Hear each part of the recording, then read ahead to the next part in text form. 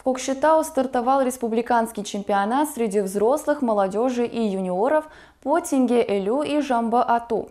В соревнованиях принимают участие около 240 спортсменов со всей страны. Те, кто показал лучшие результаты в соревнованиях, войдут в национальную сборную Казахстана.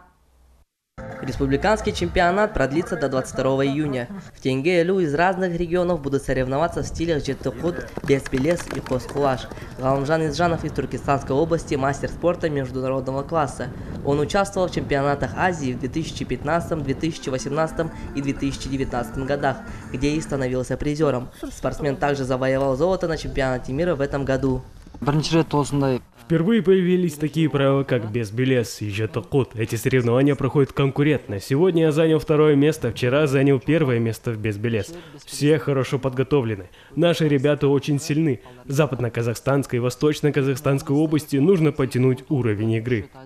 По жамбе-ату участники будут соревноваться в казахском, корейском и турецком стилях. Во второй день соревнований свое выступление демонстрируют 24 спортсмена из 17 регионов.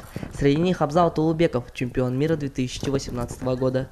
бұл спортқа 2000 Этим спортом я занимаюсь с 2017 года. Чемпионат проходит на очень высоком уровне. Проходит очень интересно, у соперников очень сильная подготовка. К слову, Туркестанская область очень хорошо подготовлена. Проявляется готовность других областей.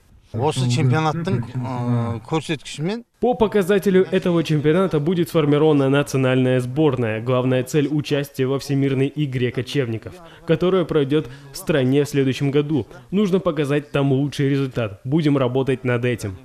Сейчас в национальной сборной Казахстана регулярно выступают 24 спортсмена по жамбе-ату и тенге-элю. Как только соревнования завершатся, ее ряды пополнят еще 24 спортсмена. Позже сильнейшие по стране поборются за Кубок Федерации на международном чемпионате в городе Алматы. Каирбек Тулигенов, Анель Рахимжан, Алишер Шакубаев, Кокши Ахпарат.